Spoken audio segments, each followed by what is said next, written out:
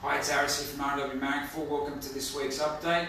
Just be a little bit of an advertorial. You have to humour me. Every one in every six or seven weeks we'll, we'll spruik what we've got on offer, just to keep you aware of what's going on. So we've listed several real quality homes that are coming up for auction in the month of August. So on the 1st, the 8th, the 15th and the 22nd, there's a number of homes that will be auctioning off.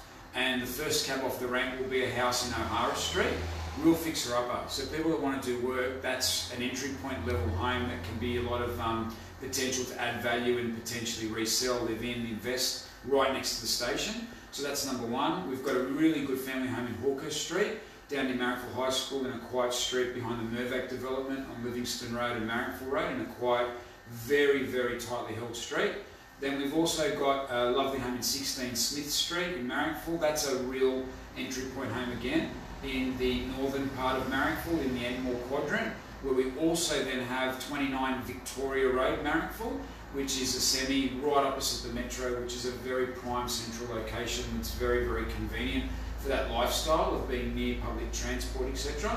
And then probably the, the highlight one, if I'm being honest, is the house we have in 2 Church Street in Ashfield. So that's a home that was built around 1887. It's got a notable heritage history through uh, Edgeworth David, which was a, a geologist and uh, uh, went on the expeditions with Mawson down to the Antarctic. But more importantly, the house itself is uh, sensational. It's got 4.2 metre ceilings, it's got some beautiful original features, and it's just a really, really nice home. If you've even got no interest in it in terms of price or, or location, just to come and look at it, I think is, is worth uh, doing because it's just a very specific type of home that I've never sold. So I think um, in 20 years, you know, that's a good uh, advertisement for you to come and see it yourself.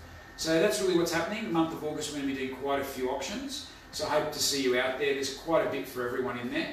But once again, if you need anything, call us anytime and we're happy to answer any of your queries. Bye for now.